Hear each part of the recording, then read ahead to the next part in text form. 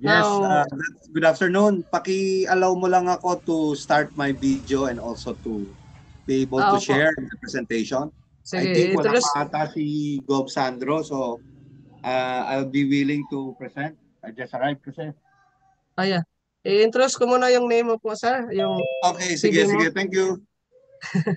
So our next uh, speaker for this afternoon session, uh, he will be discussing about topics on switch gear, uh, testing equipment. But before that, uh, let's read muna yung CV niya. So he was the general manager of Fuji Hama AIM or Audit Inspection and Maintenance Group since 2015 He was the head of sales and marketing industrial accountant of Fuji Haya Electric Corporation of the Philippines for 30 years in the fields of switchgear. He graduated his EE uh, batch in the year 20- 1988 at MIT and earned his REE or registered electrical engineer engineer. Uh, he was also the PEE And in 1991, he was the pres present, present, he was the lifetime member of IIE Laguna chapter. He was also the president of IIE Central Laguna chapter in the year 2000, awarded as the senior life member of IIE Central Laguna chapter, and present as, as advisor IIE Central Laguna chapter in the year 2001. From 2011 to 2012, he became the uh, from 2011 to 2012 and 2013 to 2014, he was the Deputy Regional Governor of Southern Luzon. From 2015, he was the Southern Luzon Governor and awarded as the most outstanding regional governor. In 2016, he became the IIA Chairman Ad hoc Committee for e-voting. From 2019, he was beca- uh, he will become the vice chairman IIA membership development committee and 2019 chai- chairman of IIA ad hoc committee for a voting.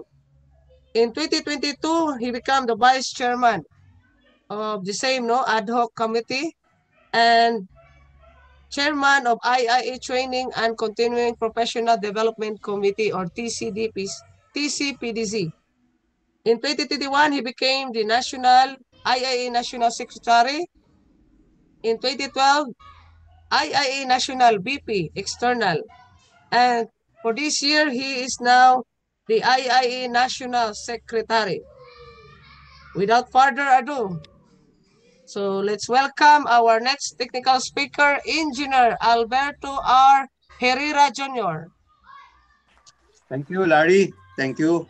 And thank you to our chairman of the TCPDC, uh, Gob, Jar, uh, Gob uh, Joseph Darren Solicar, and to all our speakers, especially yung nauna, no? Yung inabutan ko, si former governor and our former national secretary, VP external, no? Very active, Florencio Berengel. So as mentioned by our uh, host, no? I'm presently the IIE National Secretary. So yan na lang yung inano ko. I'm also a UPEP member and also presently the General Manager of Fujihaya Audit Inspection and Maintenance Group. So this is since 2015.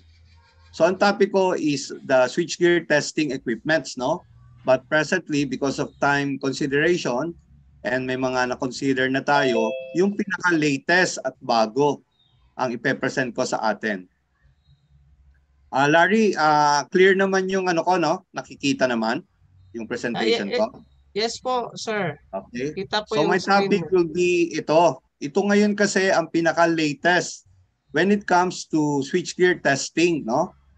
Especially yung pinaka-ano natin, ah, in demand ngayon at saka talagang yung mga facilities managers natin na nandito sa ating Zoom ngayon, ito yung pwede nating gawin in order na talagang mape-prevent natin yung mga probable o possible na mga pagsabog ng switchgear natin bago pa man mangyari. So hindi tayo magiging corrective, hindi tayo magiging correction.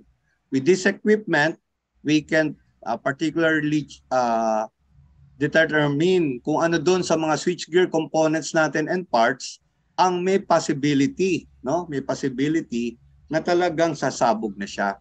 This is Ah, the partial me, sir. discharge equipment. Sir Herrera, Yes, oo. nag-share screen ka na ba ng, ah, nag, nag-open ka na ba yung PPT mo? Oh, yun yung sinasabi ko kung nakikita na. So hindi pa? Hindi pa, sir. Akala Ah, ko itong lang, ha? partial discharge. Oh, ito yun, ito yun, ito yun. Okay, ito yun. So ito, yan, nakita mo? Nagbago na? Wala pa po, Nagbago sir. ba? Wala? Full- Teka, stop Ang share ko nakikita lang. ko lang dito po, sir, is folder. Ah, Saglit lang. Sige, sige, stop share ko screen ko lang ha. Screen ko ulit. Ito, yan, kita na? Ayan po, sir. About the Kita na? speaker? Kita na, no? Yes. Okay. So ito yung partial discharge, no? So you can see, kita na ah, Larry, no? Tama? Opo, sir. Kita? Okay. So as, as you can see sa first private pole natin, which is part of our substation, is you can predict na, no? Kung ano doon sa poste natin na normally this is around 15 feet, no? At live, no? Para lang thermal scanning. You can see, may makikita na kayo kapag inano natin, just like a thermal scanning, kaya niyang i-present doon sa equipment ng partial discharge na yun na, yun na yung portion na itong portion na to na ang nagkakaroon ng arcing, ng hissing sound na meron ng partial discharge na dapat i-correct na natin immediately lalo na depende doon sa decibel. So ang mga topics ko to discuss is ano ba ang partial discharge? Ano ba ang mga partial discharge type? Ano ba ang consequences kapag hindi natin kagad kinorek ang mga nakita nating partial discharge? And yung ginagamit namin ngayong test equipment which is the Fluke I squared 910. Uh, actually, dalawa lang naman ang may partial discharge but presently, Fujihaya AIM is uh, using the Fluke I squared 910 specification. Ito yung mga latest partial discharge project namin. I'll be showing it to you. And then, of course, the sample project, ano yung nakukuha naming partial discharge count. And then, dun sa mga may facilities or dun sa mga mismong nagpe-preventive maintenance, ano yung mga possible recommendation na pwedeng gawin natin if you have this equipment. And then how you can contact us. So, as you can see, ito yung sample, no? Ah, saglit lang. This is a video. So as you can see, uh, you can see merong discharge na nangyayari dun sa first private call natin, specifically dun sa S-Space. And ito yung mismong video ng isang project namin wherein you can see decibel. So ibig sabihin sound. Ibig sabihin yung hissing sound na yon kahit 15 feet pa siya na ire-record ng ating equipment. And in this case, ang ginamit naming uh, uh, ano niya is using the recording, no? Yung video. So, as mentioned, ang mga pwede nating i-partial discharge are the first private pole, like this. The power cable. So, substation na talaga, hindi lang doon sa switchgear, no? Yung mga power cable natin ng XLPE, mga dry type transformer or power transformer na yung diniscuss kanina ni Sir Berengel, yung pagtetesting ng transformer, you can add na rin. But with this uh, partial discharge, pwede nyo siyang gawin ng live, no? Uh, there should be a proper equipment nga lang na PPE when you're doing this partial discharge. Doon sa mga potential transformer natin o yung mga instrument transformer ng mga switchgear natin, mga current transformer, yung mga instrument current transformer ng switchgear din natin. And just to remind, itong partial discharge, 3 kV and above.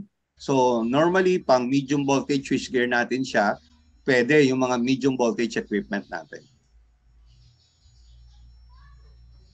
So, again, especially for mga, kasi dito sa Pilipinas, 4.16 kV, uh, 13.8, 24 kb, 34.5 kb.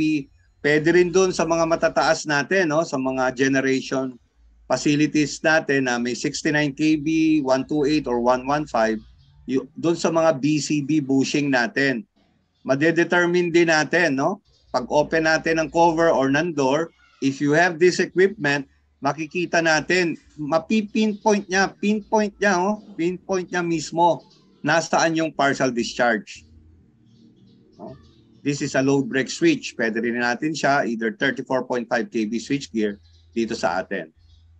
So ito yung sample ng switch gear. Of course, we have the protective relay doon sa taas, the, the digital metering, the pilot lights or the indicators kung anong status ng on and off ng vacuum circuit breaker natin na nasa gitna. And of course, our uh, battery or battery charger na nagko-control doon sa uh, BCB control circuit natin. So what is partial discharge? So let's go to the definition first. So these are small electrical sparks that occurs in various points of equipment insulation that are rated 3 kV and above. So ibig sabihin, kapag mga low voltage, pag less than 3 kV, hindi pwedeng gamitin itong partial discharge. Hindi siya applicable. So normally, dito sa atin sa Pilipinas, 4.16 kV, 6.6 kV, 13.2, 13.8, uh, 24 kV, 36 kV, 69 kV, and above, no? yung mga 115 or 128 kV natin. This partial discharge slowly creates corona, electrical trees or surface tracking in an imperfect insulation, and arcing that deteriorates equipment until fail failure. Since uh, partial discharges are unnoticeable by the naked eye, the Fluke I squared 910 will help trace this insulation, imperfection, and discontinuous in an optimal way that thermal scanners cannot see. So yun ang difference niya sa thermal scanner. So where does partial discharge happen? So yung mga sinample ko na kanina, sa high voltage line, sa transformer, sa turbine, sa bus bar inside the cabinet, So examples are electricity generation facilities, transmission network, and distribution network.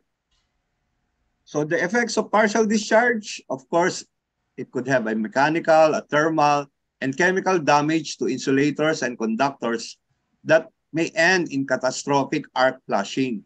So kapag wala tayong partial discharge, ang ma-experience na natin sa mga substation natin, sa mga equipment na minention ko, isasabog na siya. So correction na ang gagawin natin. So ano-ano ba ang mga partial discharge type? So may apat yan. There are four. The first one is the void discharge or the internal discharge. So this discharge usually occurs due to manufacturer's defect, solid insulation, highly destructive to insulation. If a void PD is discovered, the insulator should be replaced.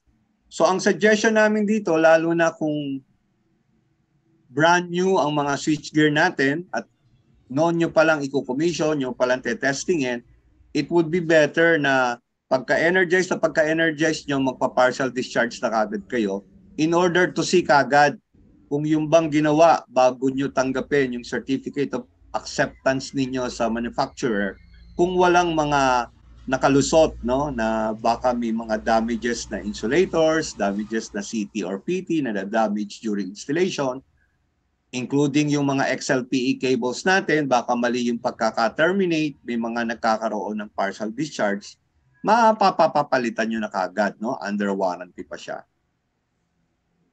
Ito naman, ang sumunod is the surface discharge. This is also known as surface tracking. So ito makikita to sa mga BCB, sa mga instrument PT, CTs kasi merong siyang nakikita na na tracking. May nakikita na kayong mga ganito. So there are surface tracking. Discharge along the surface of the insulation can be destructive.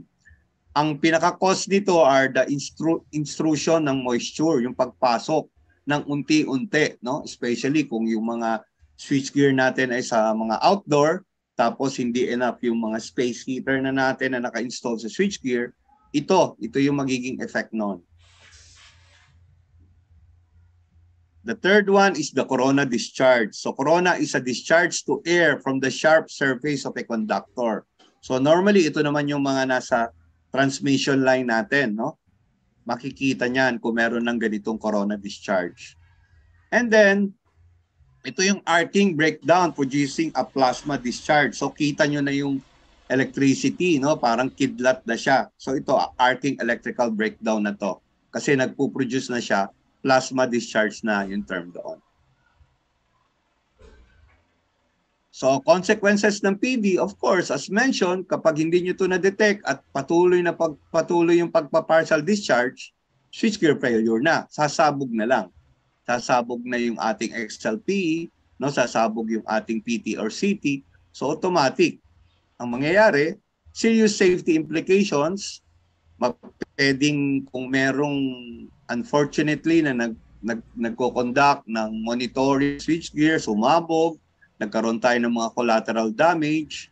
And of course, this is a major disruption. So yung mga facilities manager natin, no, na in taking charge of our substation, medyo major disruption to, it would be very expensive kasi kapag ito nangyari, pumutok yung XLP, pumutok yung CT, pumutok yung transformer, bago natin to mapalitan, it will take time. And then usually, kapag maghahanap tayo ng for replacement, depende kung sino yung mga switchgear manufacturer lang or transformer manufacturer for that matter or XLPE na may available. So it would be very expensive. So ano ba yung partial discharge na ginagamit namin? As mentioned, maraming brand to. I'm not, ano yun, pero ito lang kasi yung ginagamit ma, mismo ng Fuji IM. The Fluke I-Squared 910 Precision Acoustic Imager. So ito siya, ganito yung itsura niya. As you can see, pag tinignan nyo, may hawakan dito at meron na siyang pinapakitang video, no? Na parang thermal scanner. Kaya lang pinpointed niya, just like a thermal scanner, na kung nasaan yung nag-i-emit na ng partial discharge. Ang difference niya sa thermal scanner is of course 3 kV and above lang siya. Tapos yung nasa likod na to, which is this part, butas-butas. So ibig sabihin, yung sound ang dinidetect niya, yung mga hissing sound na nasa loob ng switchgear natin, yon ang kino-convert niya sa image na ganito na. Naka-virtual image na siya. So, the I-squared 910 can detect electrical partial discharge, issues on insulators, transformers, switchgear, high voltage power lines. Because if left unchecked, these issues can cause blackouts, fires, explosion, or arc flashes. The I-Squared 910 offers an all-and-in-one tool for catching leaks and PD issues. So, ibig sabihin, pwede rin leaks. So, yung mga gas leak natin, no? kung meron tayong mga ginamit na uh, gas gas insulated switchgear, no, pwede niya rin ma-detect. Pero normally sa present list namin sa ngayon, nandito kami sa partial discharge issues. 'Yon ang marami na kaming mga sample projects which I'll be showing later on. The frequency range is 2 kHz to 100, to 100 kHz. Distance as mentioned, so kahit medyo malayo kasi kaya niya hanggang 120 meters, no? Uh, ah, 1.6 to 393 feet. Minimum flat rate is 25 frames per second. Reporting functionality as mentioned, leak and the PDQ mode, the partial discharge queue mode. So, ganito yung nakikita nating image kanina. So, sa partial discharge, ganyan-ganyan. So, ibig sabihin, kapag tinutok niya yan, so live yan ha, so dapat medyo ingat tayo pag bukas ng cover normally yung mga switchgear na matataas ang voltahe, meron pa tayong dapat PPE na gagamitin no? when we're doing this one and then yung ano natin. So you can see, meron ditong distance kung gaano kalayo yung partial discharge na ano natin, equipment, doon sa tinetesting natin. Ito sa loob to ng switchgear, normally sa load side to or pwedeng sa line side na nagpapakita ng distance nagpapakita ng partial discharge count. So ibig sabihin, pag may PD tayo, meron ng partial discharge. Pulse counting ang tawag ng partial discharge dito. So 30,122. At ito, ito na yung sinasabi, ito yung specific na naghihising sound sa loob ng switchgear natin at pinpointed yung location, no? With a 1.9 distance, with a 30,122 pulse, nakikita natin ito yung dalawa, no? Na, na nagbibigay ng invisible threat. So ibig sabihin, kapag walang invisible threat, wala tayong partial discharge. Very good yung switchgear natin. And then the frequency range of spectrum, ito yung kilohertz. Normally ito yan, naka-rectangle siya na ito, tinataas nyo lang o binababa in order para yung invisible threat medyo mas uh, makita natin ng maliwanag. And then you have here, the upper is the mismong decibel na So in this case, 29 decibel ang pinaka-highest niya at 27 decibel ang pinaka-lowest niya. So ganitong ganito yung ire-report sa inyo na just like a thermal scanner, in this case, with the I-squared 910 precision acoustic imager, ang pinapakita niyang image sa iyo is the partial discharge. Nasaan yung source ng partial discharge? Nasaan yung source na nagkakaroon ng hissing sound sa loob ng switchgear natin? By the way, with this PD count, no, at with this decibel, 29 decibel, medyo hindi yan dinig ng ating uh, tenga, no? Pero pag lumakas yan ng lumakas, doon medyo mag-worry na kayo. Kapag naririnig nyo na, mas lalong dapat ninyong ma-pinpoint kasi kadalasan pag wala kayo nitong PD, pag may naririnig na kayong hissing sound at talagang audible na sa ears natin, medyo mag-worry na kayo. So please contact any uh, uh, uh, PM uh, service provider na merong partial discharge equipment. Okay? So ano ba yung mga latest partial discharge uh, companies na, na anuhan na namin ng partial discharge? Uh, we are very fortunate enough na we are one of the four companies na unang-unang bumili nito sa Fluke, no? In the preventive maintenance service contractors. We bought this one nung year 2021 pa. So ito na yung mga companies na nagawa na namin ng partial discharge. Uh, Universal Rubina, the Goto Philippines, Kerry Manufacturing, Honda Philippines, JMS Brothers, Bandai, Petruwin. So ito yung nasa Nabasaklan. Okay? So sample project as mentioned, first private poll, the partial discharge natin, ito during preventive maintenance, kaya lang ta natin makukuha ng picture ng ganito kalapit kasi shutdown at saka normally may basket tayo in order for us to see. And definitely ito, naka-ano to, naka-off, no? Tsaka meron tayong basket para makuna natin ito. And as you can see, ito, ibig sabihin nito, pag ganitong kinalawang na, matagal nang hindi pinapipm to, and because of the heat of heat of the sun, the rain, itong mga uh, bolts natin na to, pag ito ay hindi stainless, ang tendency nito, yan, oh, magkukos yan later on, no? Maaring yan yung magkaroon ng partial discharge, magkaroon ng heating, magkaroon din ng mga hissing sound. So traces of rust and condensations are found in multiple parts of the first private pole. So, but kung may partial discharge tayo, kahit live siya, kahit hindi pa natin iniintay yung mga shutdown time natin, no, na normally December or April ngayong Holy Week, makikita na natin, no, mapipinpoint na natin. This is an actual project, no? Uh, hindi lang na i-ano yung distance, no? kasi medyo binilisan niya yung pagkuha. Ito, na pinpoint kagad namin na mayroong 30,584 na PD, PD count at 40 to 60 hertz kilohertz. At from 15 feet, no, nandito yan, nasa baba yung engineer ko, inaano niya yan, yung result ng imager, 24 decibel na ang naririnig, no? 24. With the 15 feet distance, ha, may decibel ka na. So yan, kita mo na. So since nakita mo na, you can convince na yung ating end user, oh, sir, may problema dun sa portion na yon.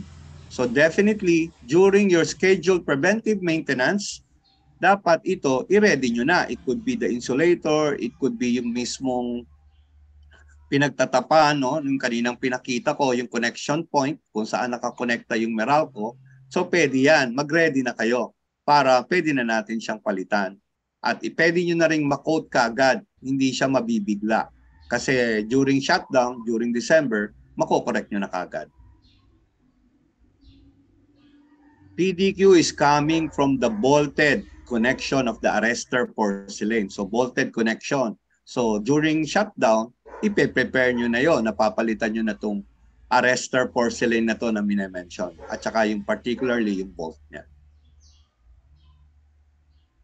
So recommendation namin, rectification and replacement nung portion na yon, yung multiple parts na yon ng Perch Private Pole. Sample project, another one. This is the first one I showed you is PD count. So ang likod pala nito is vacuum circuit breaker. So as mentioned, kapag ito live, this is a 34.5 vacuum circuit breaker. Pag may image na ganyan, invisible threat, may partial discharge, and then makikita niyo yung mga PDQ, 30,000, 28,000, 24,000, no? Tatlong kuha siya. So ang PD niya is from 28 to 30,000 pulse count per minute. So yun yung pinaka ano PDQ mode, no? Was detected at the pace ACE S and T of the Fuji vacuum circuit breaker. Ito naman medyo matagal na kasi yung Fuji vacuum circuit breaker. So pag nakakita ba ng ganito na invisible threat, palit ba kagad ng BCB? Hindi pa muna kasi syempre this is an indoor switchgear naman.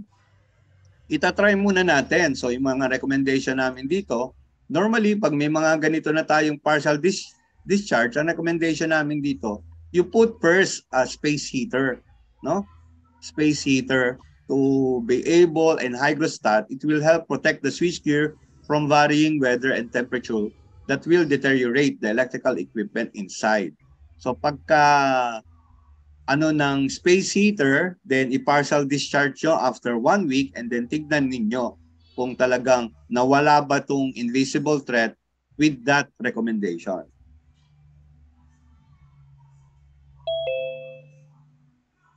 Again, this is a partial discharge count. As you can see, identify nandun sa bushing naman ng vacuum circuit breaker. With a 1.2 meter distance, PD count is 28,739 and then 34 decibel na 34 no? So normally ito yung so far sa ngayon pinakamataas na nakikita natin. At nasa 50 to 70 kilohertz siya. Ganun ulit no?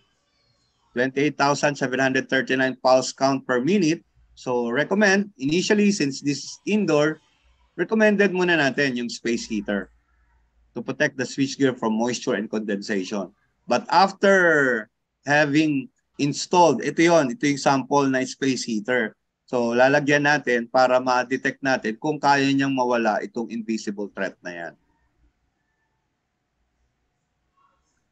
Ito, uh, it could be the wall bushing ng BCB. Ano ba yung wall bushing?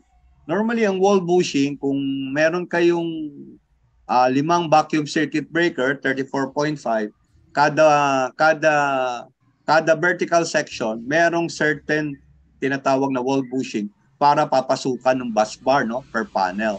So yung wall bushing na yon, ito dito sa project na to, nag ano siya, nag-emit siya ng partial discharge. 1.2, 0.9, 30,000, 30,000 ng pulse per minute, and then 33 dB, ito mas mataas to, 49 dB na. So again, hindi naman kagad kami automatic replacement. You have to just put a space heater and hygrostat para ma-prevent muna. And then after all, pag nalagyan na natin, i-consider natin na wala ba siya talaga or hindi. Pag hindi at lalong lumalala, meaning talaga medyo na damage na ng todo, either yung BCB bushing, yung wall bushing, or yung PT or CT. So yan. This one is a current transformer, no? Dito, so normally as mentioned, kapag sa switchgear, kapag live, may narinig kayo nagigising sound, kung wala kayong partial discharge, di nyo alam kung saan galing. Mag-aano lang kayo, magre-rely lang kayo sa instinct ninyo doon ba? Papakinggan natin kung saan mas malakas. Eh medyo delikado kapag mataas na ang voltahe, especially kung 34.5 kV yan o pataas, no? So, pero di, with the partial discharge, alam nyo na kagad, ah, ayun pala, itong city na to.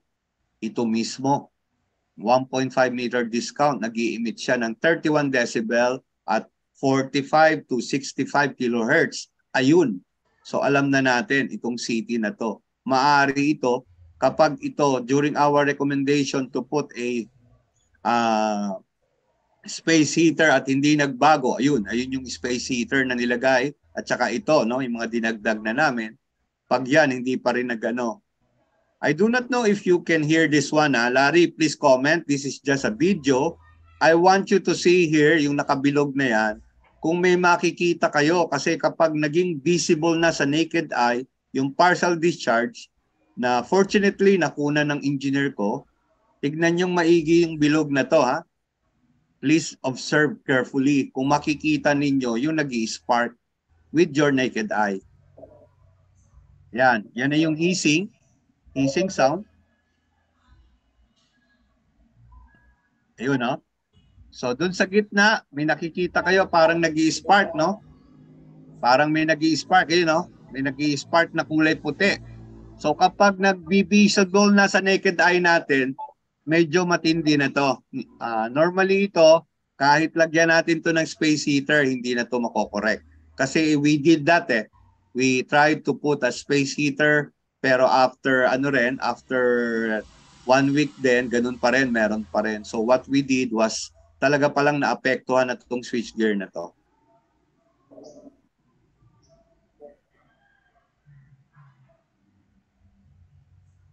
Ito, isa pang video. Pagka preventive maintenance namin, nilagyan namin ng space heater. Nung malinis yung switchgear, lalong nagkaroon ng ano dahil yan, yan yung naririnig nating audible. Pag ganyan na ang audible ang sound na you can hear na sa ano natin, sa ears natin, naririnig nyo na yung parang nagpiprito, parang may niluluto ng mga wires doon sa loob ng switchgear natin. Mag-worry na kayo, please contact an expert service provider para ma-determine nila ano ba talaga yung cost nito.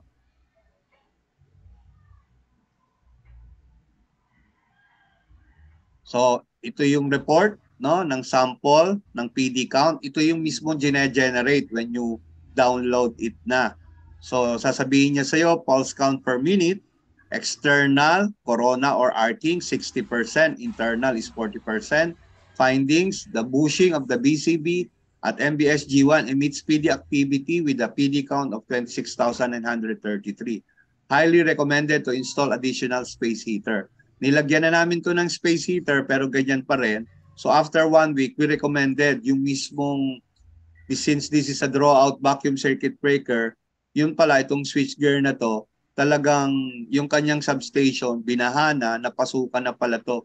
Yung talagang ang moisture nito, matindi na, pumasok na dun sa mga BCB draw in draw out parts na ano so nandoon na nagkaroon na ng mga kalawang at saka moisture dun sa loob So this is one sample ng before and after.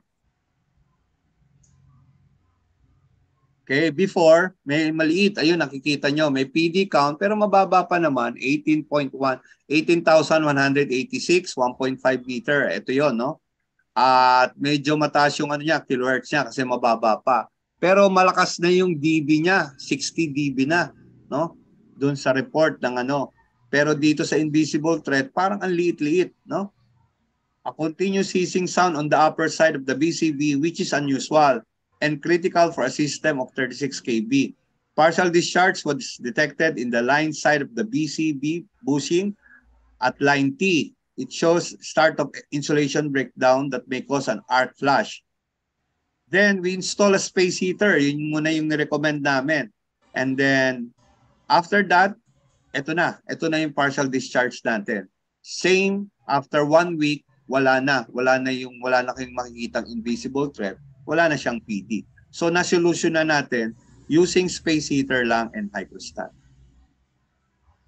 Yan. Ito yung mga major components ng switchgear. Ito, automatic ito. You can see here, ito yung corrective, pumutok na. Hindi nyo na-determine. So this is a potential transformer kasi meron tayong fuse, no?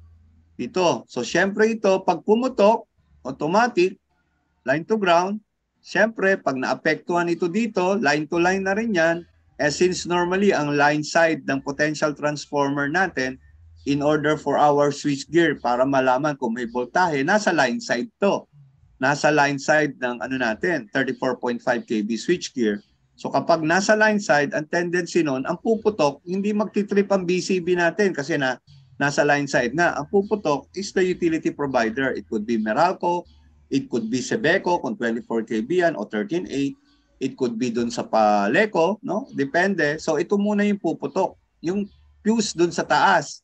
At normally dito sa Luzon, pag pumutok si Meralco, hindi ka agad kayo bibigyan ng power, lalo na nalaman ng Meralco na may pumutok kayong PT, pate-testing muna ang switch gear nyo, pate-testing yung XLPE cable nyo, yung transformer nyo, and then yung ating 34.5 kV na may vacuum circuit breaker. And it should be, the test report should be signed and sealed by PEE bago uli nila kayo i-energize, no?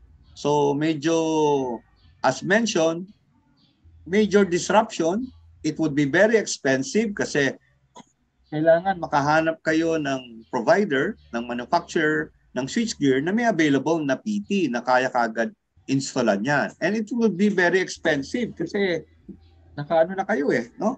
Very critical na.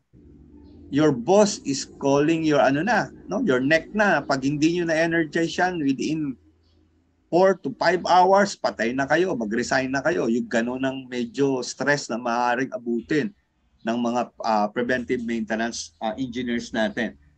So as dito, yung mga sinasabi natin na surface tracking, if you're very evident doon sa mga preventive maintenance service provider natin, at may nakikita na kayo na nagse-surface track na ito, itong itim na to, medyo mala, ma, ano na to ha, malapit na tong pumutok, no? Pag ganyan na.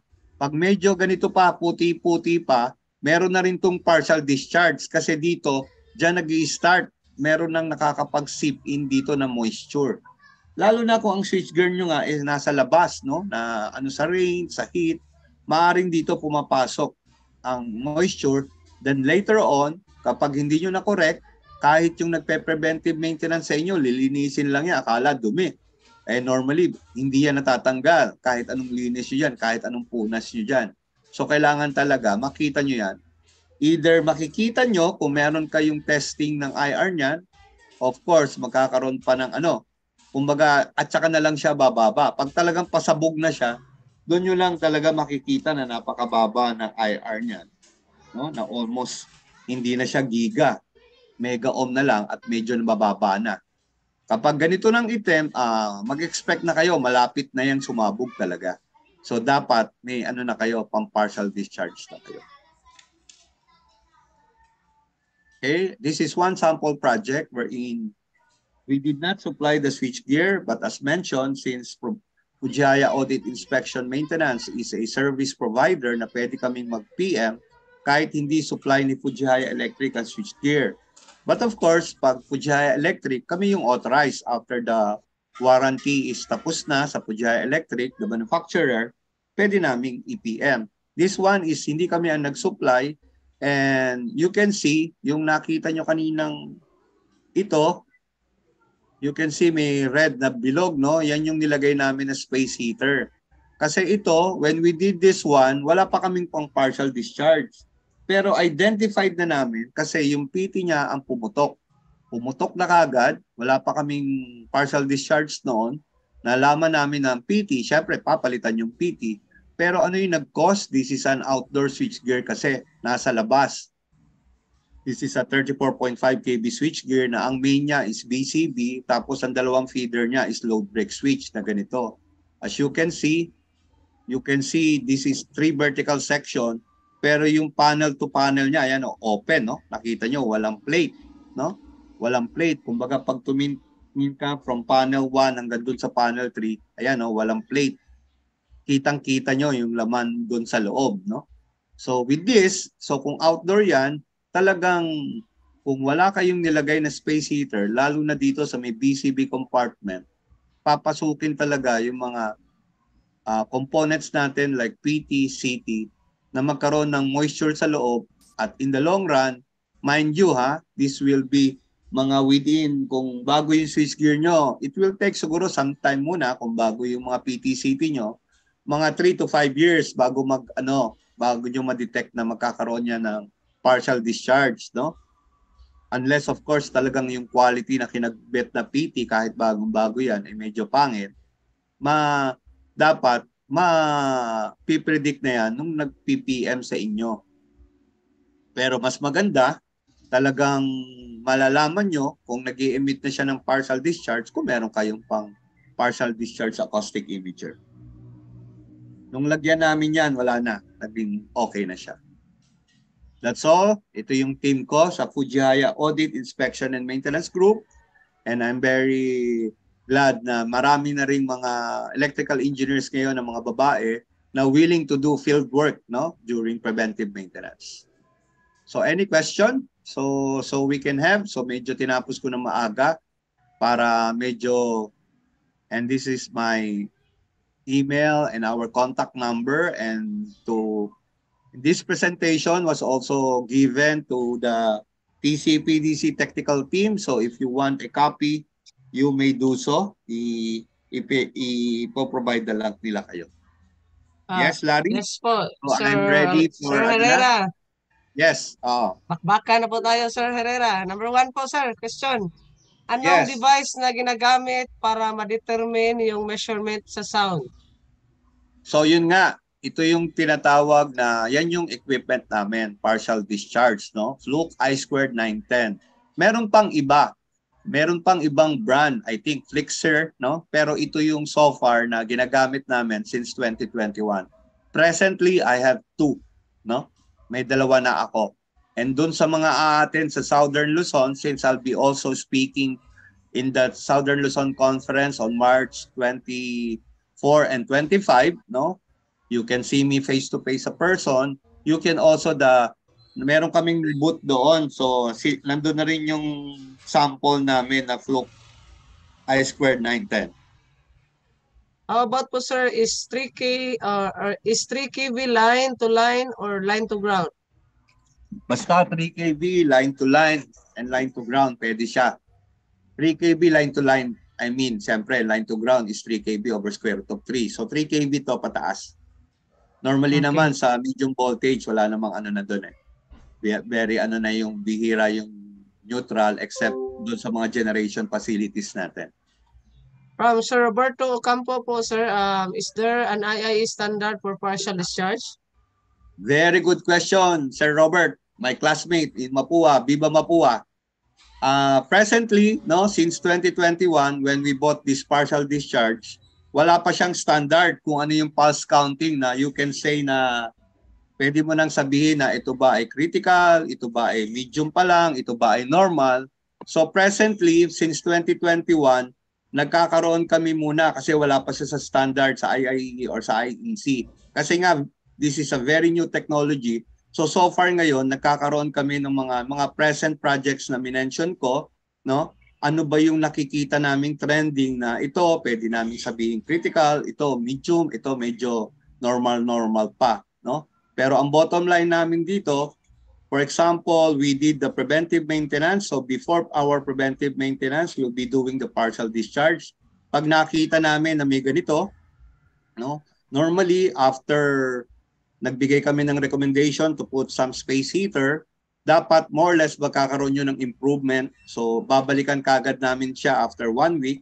Then pag napansin namin na medyo hindi nag-improve, then that's the time that we will be recommending the placement immediately. So sa Ah. standard sa ngayon, wala pa. So sa amin, mga kapag nasa 28,000 to 30,000 pulse count per minute, yun yung medyo kinukonsider namin na medyo cause for concern na. Lalo na kung medyo mataas na yung decibel. Yung other one question po ni Sir Ocampo po, sir, can we require partial discharge test as part of the standard test of different equipment before delivery? Yes, yan yung sinasuggest ko sa mga switchgear manufacturer na tumatanggap, no? Kasi talagang it would be, ah kumbaga, sa end user, it will be your assurance na talagang yung nag-supply sa inyo ng switchgear, no? Ah isasama yan dito ngayon sa PEC3 natin, yung preventive maintenance. Kasi para magkaroon ng assurance na yung nag-supply sa'yo ng bagong-bagong switchgear, yung nag-supply supply sa'yo ng bagong XLPE cable na nag-terminate, walang mali or walang mga palpak na insulator or palpak na PT na na may damage during installation or for whatever the manufacturing time, mape-prevent mo na yon. Very good question, uh, uh, Uh. Sir Herrera, it's is it possible to detect partial discharge using fluke uh, 11910 if the enclosed of switchgear is not to open or remove? Kaya as mentioned, no, dapat qualified at saka naka-PPE. Kasi hindi pwede. Pero normally naman, kahit nga 34.5, no, di ba, nagte-thermal scanning din tayo. Nagbubukas din tayo ng cover. Pero dapat may PPE tayo na ginagamit, no? So definitely, qualified personnel lang ang pwedeng mag-open ng mga matataas na voltahe natin, 3 kV and above. Or kaya even the low voltage switchgear during thermal scanner, no? Dapat may eh, necessary safety gear sila na ginagamit. Uh, last na lang po, sir. Yes, sure, sure. No problem. Ma- maaga ako natapos, di ba? So I can nga, entertain madami- many questions. Yes. Kaya nga, ma- madami-daming tanong dito, sir. Ah, how much po daw po ang appropriate cost of testing PD? Ganito. Kasi nga, kapag kami ang nagpe-preventive maintenance sa mismong ah, end user, it will be kumbaga kasama na doon sa offer namin. Pero kapag normally hindi sa amin ang switchgear, per vertical section tayo. Per vertical section tayo. So, and of course, the mobilization. Minsan naman kasi, mobilization, nasa kanlubang kami, eh kayo ay nasa norte. So, yung mobilization cost natin ang medyo magmamahal, magbabari. Pero normally sa PD testing, nagre-range yan between 5,000 to 10,000 per BS lang. So medyo hindi naman siya ganun kamahal. Ala, since the PD instrument is using ultrasonic sound detection, would there be possibility or we can there be chances of false readings due to noise or unwanted decibels around the area Ah, or near the sound? Actually, this actually this one is the one that we questioned Fluke no when we bought this equipment. And dun sa experience namin for the last two years, hindi hindi mo madedetermine kasi pag open mo kunyari ng ah, rear cover no ng switchgear, yung lo- nasa loob lang talaga ang maririnig mong sound. Hindi siya affected ng other kasi kung saan nakafocus yung PD, yun ang kinukuha niyang ini-emit niyang sound. In fact, even the first private pole, 'di ba, may sound sa labas. Hindi siya ano affected siya kung saan nakaturo yung mismong ano niya, yung mismong sound niya doon sa likod. From So Sir it- Bernard, hindi siya affected. From Sir Bernard Pardinian, sir, how often is switchgear daw po maintenance required? Ah, ang standard natin talaga dito, no, is ah, once a year, no? Dapat mayroon tayong preventive maintenance. Kung medyo critical yung equipment mo, like like for instance, no, natanong kami doon sa NAIA fiasco noong January 1. So pag ganun ka critical, mismong yung thermal scanning kailangan diyan at least quarterly nga ang thermal scanning, no? Pag mga ganung critical na ang sinusupplyan mo like airport, like hospital. Pero pag mga industrial plant, normally once a year is is enough. Ah, na question ko na ba ito, sir? Ah, what are the chances na hindi mali ang detection? Hindi pa, sir, no? Na question na, as mentioned sa inyo, ah sa experience namin, it's correct. Kumbaga talagang pinopoint niya, is it the PT, is it the CT, is it the XLPE? Kaya mapipredict mo na, ito yung sinasabi. You can predict, ah ito sir, bigyan mo to ng mga ganito, lalo na pag na-determine namin yung decibel niya at saka yung mismong PD count niya. Ma, pag ito, pag ano, nagpapa-waiver kami, pag hindi mo to sir kinorek, maaaring maputukan ka, hindi namin kasalanan yan. In-inform na namin kayo. Yung follow-up ni Sir Robert Ocampo, may recommendation ba from the PD supplier on the, on the results? Wala pa eh, kasi nasa ano pa rin sila. Nasa, kumbaga, kasi nga bagong-bago to, noong 2021 lang to nilabas. Kumbaga, nasa research study pa sila. In fact, may mga naging problema kami doon sa una nilang nilabas. Medyo after a year, hindi na siya, hindi na namin ma-download, no? Yung nakuha naming ano sa computer kasi may bug pa doon sa system niya. So nasa talagang ano pa rin to, nasa for improvement pa kasi new technology nga. How about sir, the exact price of purchase uh, II910 sir? Ah, yan kasi hindi naman ako nagdadala nitong Fluke, no? Hindi ako marketing manager nila- nila. You can directly contact Fluke for this for this, no? So nandun din sila sa March 24 sa ano sa sa mga regional conferences natin, isa sila sa mga exhibit sponsors natin. So you can ask them directly for the price. Ito po yung for insulator from Edward Panotis po. Ito yung tanong niya. For insulator support bushings in HB poles, is cleaning and heating solved the partial discharge? So ganito, kasi yung mga pinakita ko, like first private pole, ganun din yun, no? mga EHB poles yun, outdoor. So ang ano lang natin dito, purpose, pag partial discharge, alam nyo na kung ano doon sa mga insulators na doon ang nag-i-emit ng sound. So kasi pinpointed sa location eh. So I suggest palitan nyo na mismo yung insulators na yon or kadalasan kasi yung nakikita nyo kanina sa presentation ko, yung bolt, no? yung connection point yung connection point kasi normally yan, copper wire yan or no, talagang nakaano yan. Yun ang pwede nyong papalitan kagad, lalo na kung medyo nagraras kasi yun yung nagiging cost. Ang mga outdoor kasi na ganyan, wala kang ibang paraan kundi replace lang. Replace lang talaga. Hindi katulad kung enclose siya ng switchgear, you can recommend muna mga space heater, no? Uh, in fact, meron kaming isa na yung malapit sa dagat, no? Siyempre, pag malapit sa dagat ang ating switchgear, talagang may salt, ano na, di ba? Component na, coming from the ocean. So, ang tendency, mas madaling mag-rush yung mga bolts natin at yung mga PTC na PTCT natin, madali siyang mapasukan talaga ng moisture. So may added na yon. So nag-suggest kami doon na talagang bukod sa space heater, yung mismong substation room nila, kontrolin yung temperature. Dapat kasi uh, sa sa general rule ng switchgear manufacturer namin, ng principal namin, dapat hindi nagbabari ang outside temperature doon sa switchgear room nyo doon sa loob ng switch uh, sub uh, switchgear na temperature dapat 5 degrees to 10 degrees ano lang eh variance. Kumbaga kung sabihin natin 40 degrees kayo sa temperature sa laba o 30 degrees kayo, dapat yung sa loob 25 you Dapat nasa 5 to 10 degrees lang. Okay, so last sir from Sir Abel Domingo. Uh, how much TEV detector it's possible that some uh, that same decibel measure using Fluke II910 is there some comparison sir? I'm not pa- particular with TEV detector no? Pero baka ito yung sound. Kasi merong isang nagpe-present na using sound decibel siya no? Ang problema kasi doon sa sound na yon you cannot saw the image, the particular component.